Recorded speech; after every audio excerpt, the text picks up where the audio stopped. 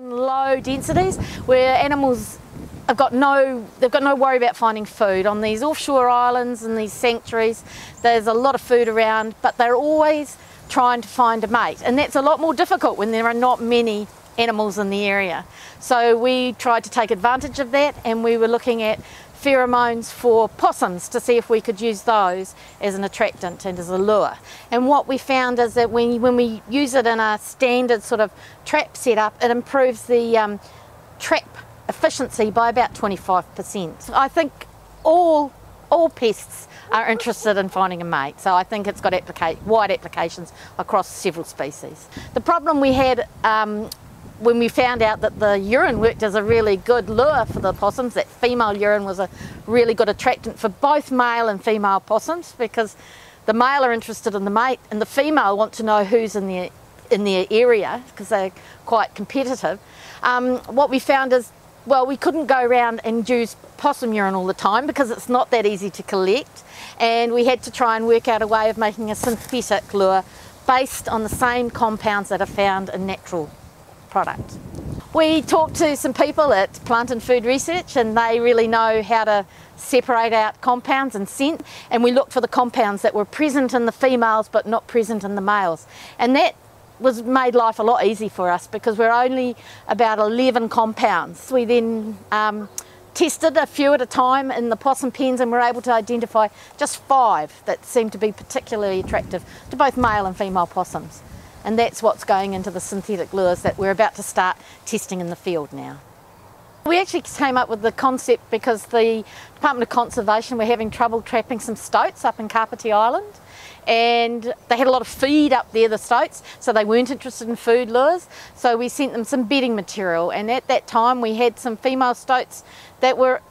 in season, they were ready to be mated and we found that that bedding material was really attractive to the male stoat. So they'd been trapping for three months up there and then they brought down the bedding material and they caught that male within about 10 days.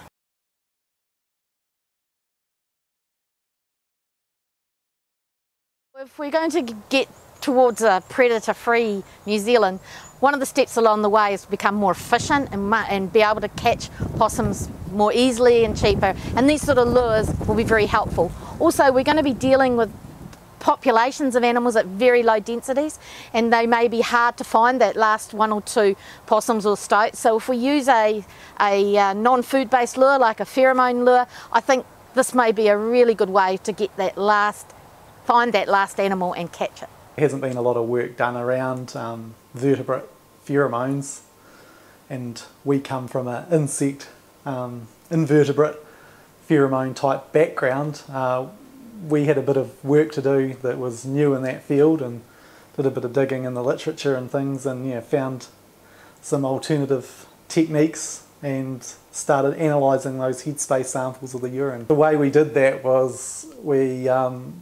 warmed up the urine actually to body temperature and then we were measuring um, the headspace volatiles coming off that so that's just the aromas coming off that we and we collected those with a polymer fibre that was absorbent to, uh, so those molecules were attracted to the polymer fibre would stick to it and then we'd thermally desorb those into a gas chromatograph mass spectrometer to try and identify what compounds that were coming off the urine could be potentially used as an attractant for the possums. We were very lucky that they were commercially available compounds so that they were already known to science so we didn't have to go through the whole process of A, you know, complex identifications and then B, actually synthesizing and making the molecules. For the insect pests, there's um, been thousands of pheromone identifications and communication chemicals are known throughout science, whereas with the vertebrates, there's only you know a few uh, pheromone identifications to date. You know, like um, so yeah, it would be a real, real breakthrough